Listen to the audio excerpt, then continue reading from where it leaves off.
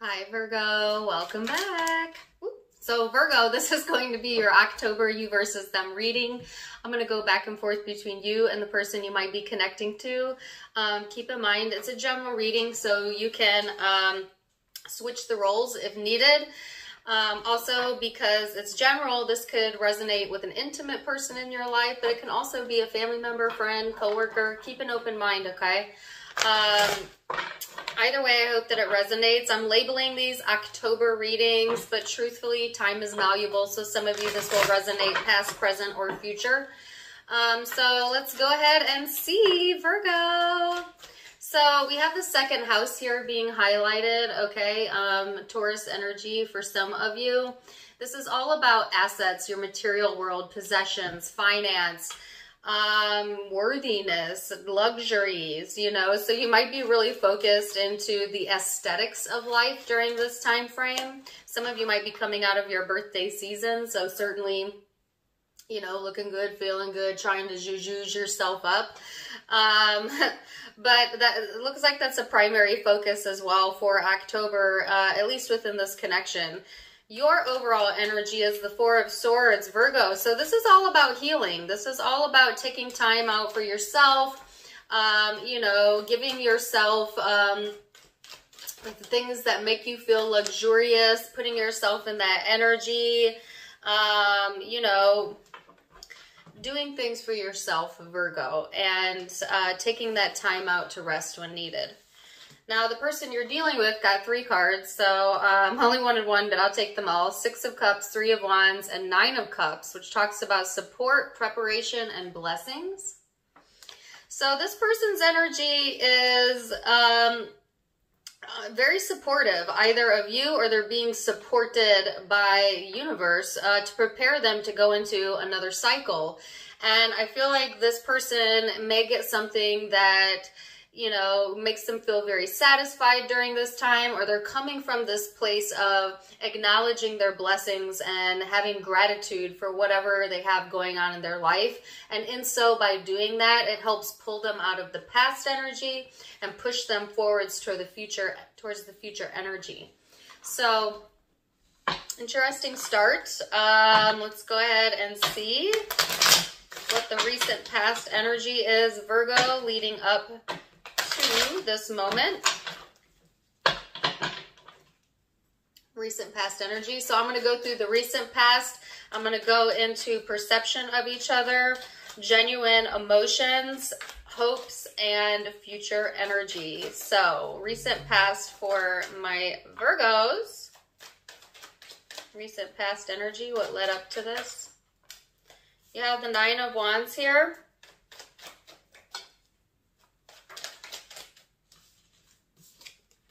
The Three of Pentacles, the Empress, and Judgment in the reverse. All right, Virgo. So I heard tempers may have flared in the past energy, okay? And or you might have been feeling just temperamental, period, you know, on the defense, feeling like you needed to defend yourself, that type of energy. Um, I feel like you've come out of that already for a lot of you into this more cooperative energy. Okay, what do we need to do? Let's start looking towards the future. Enough of that. You know, getting more grounded, getting more patient with yourself or with others and releasing the judgment, okay? Whether that's judgment of yourself or judgment of people you're dealing with or this person for some of you. You know, this can also represent indecisiveness. So, indecisiveness may have played a part into why you felt you know, protective or guarded, you know, whether that was you not really knowing what you want or not being able to convey it, or maybe the person you're connected to. So it's a bit of a mixed bag, you know, coming into the now energy of like, you know, feeling more nurturing or wanting to be more nurturing, going to more future planning, but then at the same time being a bit indecisive in the energy, okay? So let's see what the person you are connecting to has going on in the recent past energy. Virgo, person you are dealing with. Recent past energy. Five of Wands in the reverse man, I got a lot to say. Um, the Justice card. Interesting. Okay. This person may, you know, have wanted to keep the peace if there has been conflict. Like I said, if tempers were flaring, I feel like this person may have been suppressing some anger, you know, trying to keep the peace, trying to keep the balance, but at, but in the say at the same time, um, they are kind of like a pressure cooker themselves. You know what I'm saying? Like on the surface, maybe wanting to be very balanced and peaceful, but underneath that, a lot of internal dialogue or internal conflict that's possibly boiling um, within this person, okay? Or at least in the past, that's how it was, is what I'm feeling. And it's stemming from a place of like being emotionally confused, you know, and really not sure which way to turn and kind of being of two minds about things, but also trying to keep the balance in their own life. So I feel like they have a mixed bag, you have a mixed bag in the past energy. Um, so let's go into perception then of each other. Now keep in mind, perception is in the eye of the beholder, so it might be your truth, but it may not be their truth. Um, but we'll start there. Man, sorry, my cards are messy today, guys.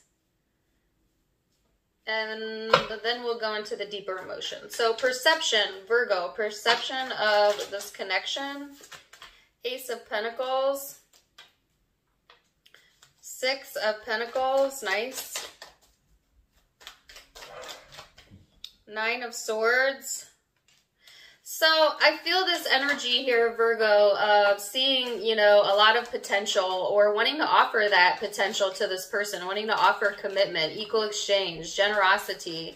For some of you, it could be financially speaking. You have some things coming in that's going to make you feel a little luxurious, you know, some money coming in.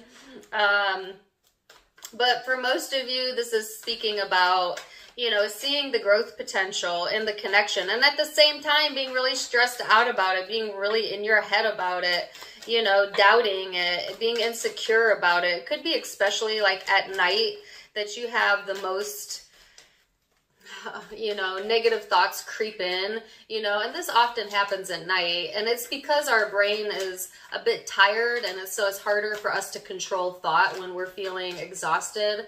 And so a lot of people kind of tend to go there with their mind when they're feeling that exhaustion, you know. Uh, but I feel like it's got you on guard. It's got you a little bit skeptical uh, as to what to do about the situation. You know, it's like, do I give it all? And am I going to get it back? And if not, then I'm not going to give anything. And it's like this standoff in your own mind that's happening. And that may be what you need a rest from because I saw split energy here. And now I see split energy here. So Let's see what this person's perception is, Virgo, of the connection. Nine of Cups. Um, you may have assets tied to this connection uh, because financial uh, messages keep showing up or similar ideas about the material world, if nothing else. Um, and or you both could just be focused on that at the moment. Um, but yeah, the Nine of Cups is here. They also see the connection as the Three of Pentacles, which is what you saw in the past.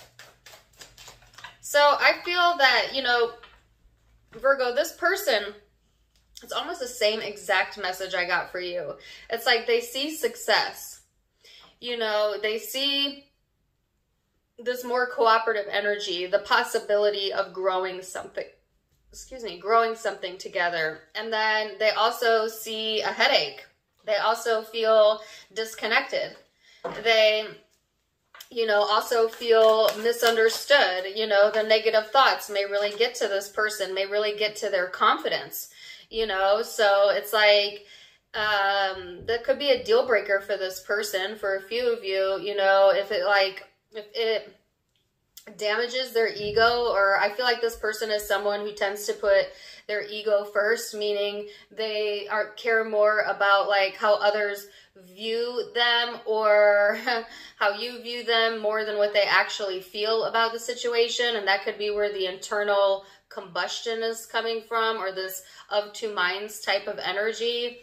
Um like this person may get have all these ideas in their head of how things could work and then they kind of disconnect from that and then they um, you know lose confidence in it or get insecure about it possibly. But there's something to do with being disconnected from confidence or someone's confidence being an issue which shouldn't be an issue but it's showing up as a possible issue between either you or them or both So let's go into genuine emotion and how you feel towards this connection. So that was kind of surface level. Now we're going to go into the ethereal, the deep, the emotion, the true, genuine emotion here, Virgo. What is the genuine emotion towards this connection? The Hanged Man, the Eight of Swords.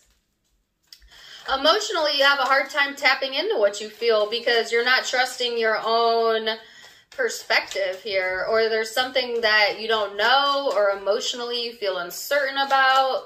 It's like you see it for what it is, or you see it from their perspective, but at the same time, you're not sure if they see it from yours. But emotionally speaking, you are going to get clarity and victory over that emotion, okay? Because you have the Ace of Swords here, which is kind of like cutting through the emotional bullshit, so to speak, or emotional confusion, and getting clearer on how you feel during this time frame, and then turning around and not trusting it. Whew. So it's like um, Virgo, you know, you get you get clear, and then you and then you immediately don't trust your own emotion.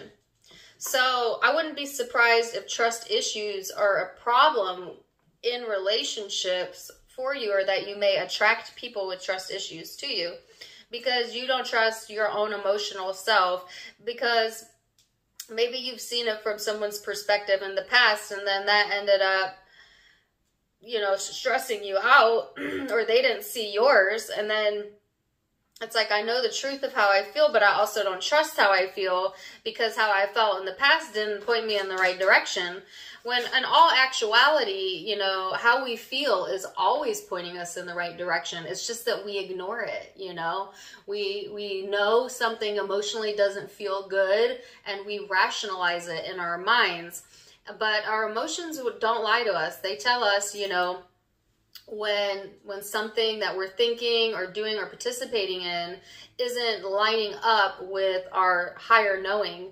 And it shows up in the vibrational form of either negative emotion which is showing you that it's not in alignment or positive emotion which is showing you it is in alignment. And don't worry about my dog. I can't help it. They're crazy so that's kind of where i feel you're at at an emotional level they'll stop in a minute so let's see how you feel emotionally speaking. Or I'm sorry, the person you're dealing with, how they feel emotionally. They have the Six of Pentacles here. Queen of Swords. Whoa. Okay, Nine of Wands. I'm not going to take all of those. We'd be here all day.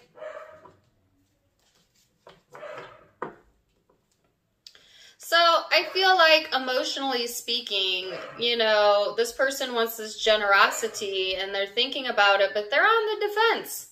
You know, they're just as skeptical, I feel. So I'm getting that skepticism on an emotional level on both sides here, Virgo, where it's like this person wants to give to the connection, but then they overthink it and then they get defensive about it, you know, or they get on guard about it yeah, having trouble finding another perspective. So you're almost mirroring each other, you know, uh, in the energies. Hold on a second. Sorry, guys.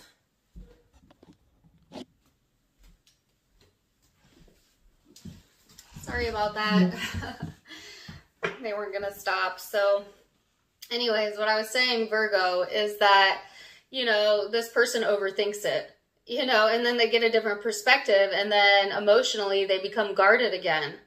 This person may also have an issue with trusting their emotions, you know, and letting go of, I feel this person triggers easily or has the ability to trigger pretty easily.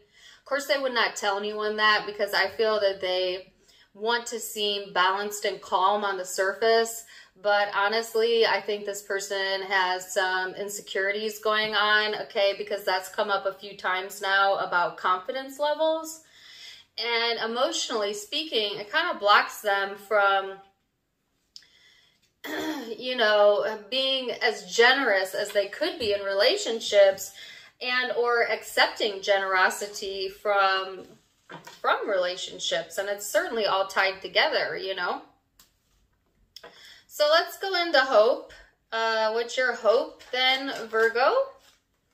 And you have the knight of pentacles. So again you want something worthy of investing time and energy into. And it's like you see that potential in the connection. Or there is a commitment already for a few of you. But it's like you also you know, someone doesn't want to meet someone halfway sometimes. You know, you also have this split emotion here between, you know, being cooperative and having clarity and then not trusting that. All right. So let's see what this person's hope is, Virgo. The Ace of Pentacles. So they want what you see. You know, this person wants something to plant their roots you know, to be rooted. um, they want commitment. They want also, I keep getting um, financial ties. This person may be someone who focuses a lot on money or you may be that way. You know, this is, um, I heard creme de la creme.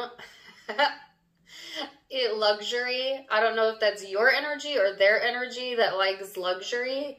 Um, and nothing wrong with desiring and hoping for that, you know, but it's like in order to get, you got to give, you know, and that goes not just for finances, that goes for any area of your life. You have to be open and available to both the giving and the receiving end of it in order to balance the energy out. So Let's look at the possible future outcomes. Now keep in mind that all the future outcomes can be changed with free will, okay? Um, but I'm just giving you a snapshot of what it currently looks like as of now. Eight of Cups. So there's a moving away here into a happier space. Yes. So kind of leaving things behind that didn't serve you, Virgo. You know, and walking into a space that's more emotional, fulfilling, fulfilling to you. Um, and it's after a period of maybe just really giving yourself that that blessing, that that reason to relax and to take care of yourself for a moment, to get yourself in tune vibrationally. And then when you get rid of this doubt within your own emotion of what you deserve, and that's what I feel it really is, because you deserve everything plus some, you know, in all areas of your life. You were sent here a divine being deserving of all. And the only thing keeping you from that is your unacceptance of that uh, thought, of that idea, of that belief. So, and I see that in the uncertainty of your emotion or the not trusting, you know, your intuition and what you know on a core level to be the truth of who you are. So I feel that there is another opportunity coming around here for you, um, or you'll be giving one. So if you're going into a more emotionally generous space, you may be more emotionally open and therefore be more giving uh, of your time, of your energy, of your love during this time frame, you know, because it's like you, now that you have it, you want to give it. And to get more of it, you give it, you know, so what you send out, you get back tenfold. So it's nice to be in that space, Virgo, where you're feeling blessed. Yes, you know, and um, kind of taking the past lessons with you, but in a way that, you know, is something that you can create a new opportunity with. And that's what's coming in. So I like that energy. Let me see what this person's most likely future outcome. The Three of Wands. So they had the Three of Wands right here. This person's preparing to leave the past behind, okay? And come into something that's going to be very satisfying, I feel, you know, and really it'll come in a lot faster and easier when they're able to drop this emotional guardedness, okay, or this confidence issue or ego, you know, to for lack of a better term. Um, but they have the Three of Wands, the Ace of Swords, the Death card, and the Eight of Cups. So this person's walking away from things that no longer serve them. They're going through some massive changes here. Massive uh, overhaul. Could be Scorpio energy for some of you. I feel like they're getting clarity, you know, and, and they're preparing their mind to walk away you know and uh, for some of you it could be this connection but i don't really feel that i feel like they're preparing themselves to walk away you know from these uh, these lower level emotions of just needing to be everything to everyone or caring so much about the appearance and not so much about what's going on emotionally, you know, because this is a massive spiritual transformation for this person and an emotional transformation, um, not so much as a physical one. Um, but I, I just feel they're getting clarity and they're preparing their mind during this time frame for some big changes and I think, you know, anything that doesn't serve them, they're going to walk away from that. So if that is you, you know, it could be you for sure.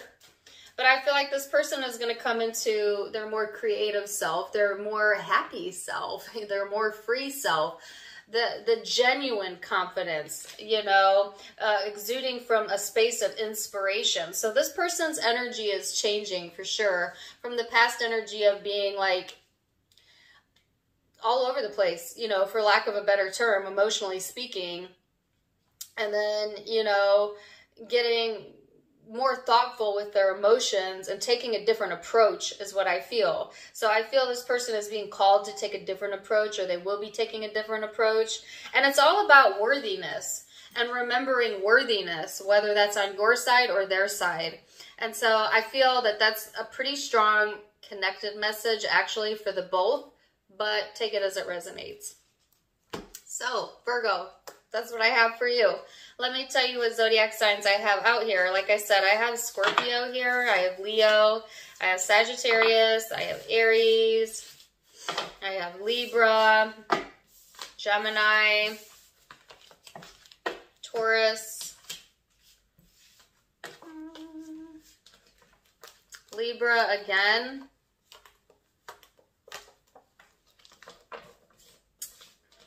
Taurus again. So those are the predominant zodiac signs I have, but keep in mind it can be any zodiac sign because it's a general reading. If it resonated with you, awesome. Do let me know in the comments down below. Don't forget to give me a like, share, and subscribe. Also, you can find me on Facebook and Instagram if you want to um, see more about my personal life or chat with me live, you can find me there, linked in the description box below, as well as linked in the About section of my YouTube. Um, either way, wishing you the best. Don't forget to check out my merchandise on your way out. And until next time, my friends, namaste.